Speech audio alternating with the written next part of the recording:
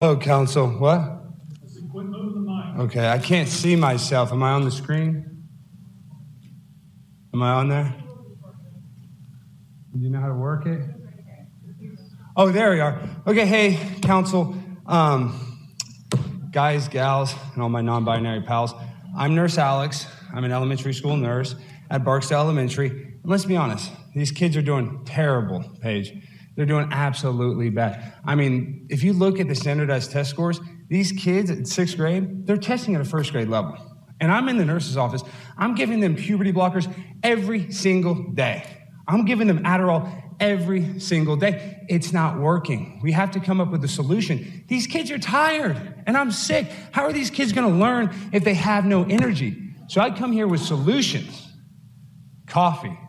We need to start giving kids coffee, but not just any coffee. We need to give them the one, the only cast brew coffee. Now, if you're familiar with cast brew coffee, it is sold by a guy named Tim Pool, who, you know, ideologically, some people would say that, you know, he leans right. But let's be real energy does not have a political party.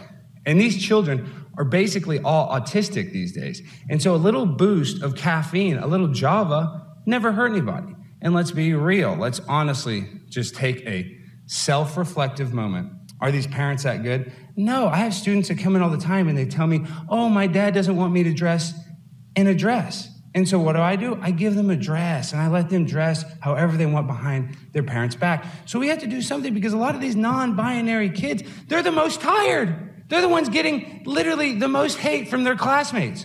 So Mayor Munns, if we can just give them a little bit of cast brew coffee, a little, little bit, because half these kids after their gender reassignment surgery, they're on fentanyl, they're on pain pills. Have you, could you imagine what it's like to get a mastectomy? Could you imagine? And we're giving mastectomies at a rate to children that we've never given in recorded history. So imagine you get a child gets a mastectomy and you're all tired in your classroom. You don't want to do your math. You want to do your math and you're too tired.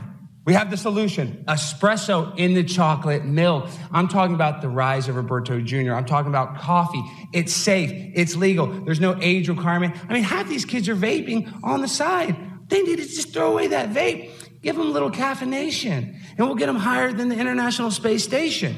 That's what we need to do. So I'm here trying to find solutions, and the solution is cast brew coffee. As a matter of fact, I actually brought these roses as a symbol of my love for the council.